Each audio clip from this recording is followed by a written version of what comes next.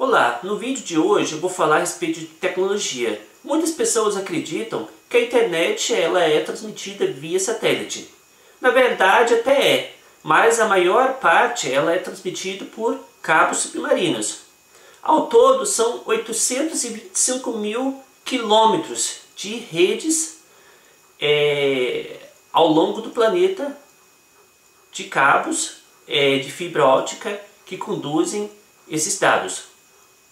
E as conexões mais recentes estão sendo implantadas no Brasil, ligando o continente africano ao Brasil. Atualmente, o único lugar que não é provido de cabos submarinos é a Antártida, justamente pela dificuldade por causa de blocos de gelo e tudo mais ali é, ou seja, pela hostilidade do ambiente. Esses cabos submarinos são implantados no fundo do mar em lugares previamente escolhidos pelos engenheiros. Com 25 anos, esses cabos serão substituídos. Não se faz reparos nesses cabos, pois os reparos acabam saindo mais caros do que trocar o cabo. Atualmente, existe algum problema relacionado a mordidas de tubarões. Então, é, criou-se um reforço nesses cabos justamente para evitar a mordida de tubarões. Essa questão de transmissão de dados via cabos submarinos tem alimentado a teoria da conspiração, pois eles alegam que as grandes corporações e o governo esconde isso da população, fazendo-os acreditar que a internet ela é transmitida via satélite.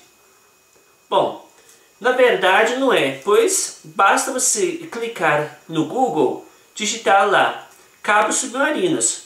Milhares de informações a respeito de cabos submarinos vão aparecer ali. Então não é uma coisa escondida.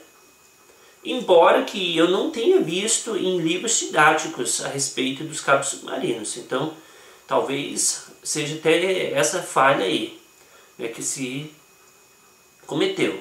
Agora, você deve estar se questionando, mas por que, que não fazer transmissão via satélite? Bom, na verdade ela é feita, só que ela é feita em pequena escala e mesmo assim quem tem essa internet via satélite paga um horror por ela, ela é muito cara.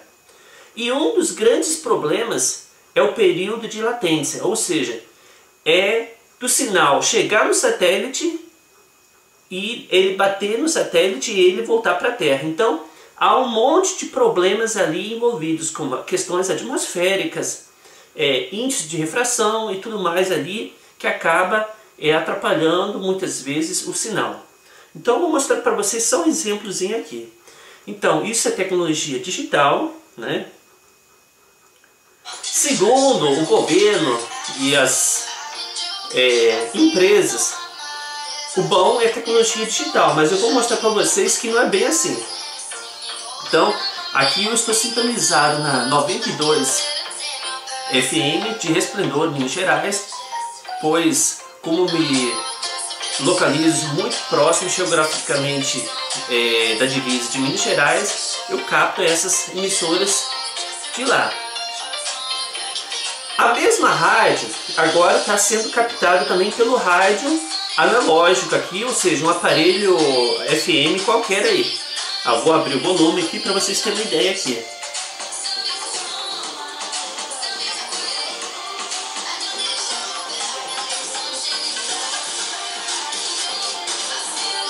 Bom, aí se diz assim, é, ouça a rádio ao vivo. Na verdade, você não está ouvindo a rádio ao vivo.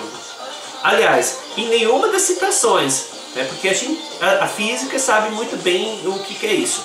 Mas aqui ainda você tem. É, você está mais próximo do ao vivo e aqui não. Então há um retardo.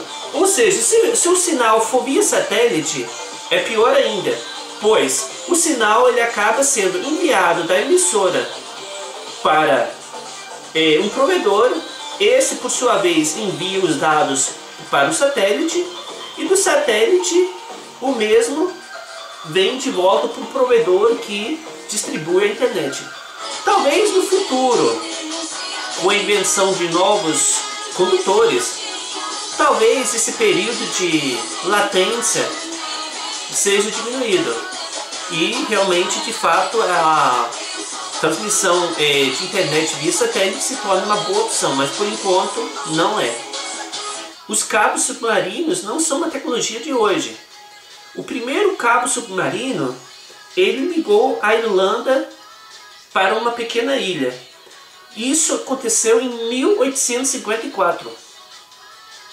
Era uma empresa de telégrafos que utilizava esse cabo. Então, para vocês verem quanto que é antigo já a transmissão via cabo submarino. Lógico que hoje é fibra ótica, então o sistema evoluiu, mas ele já é um sistema muito antigo. Então eu espero que esse vídeo tenha sido útil e esclarecedor para vocês.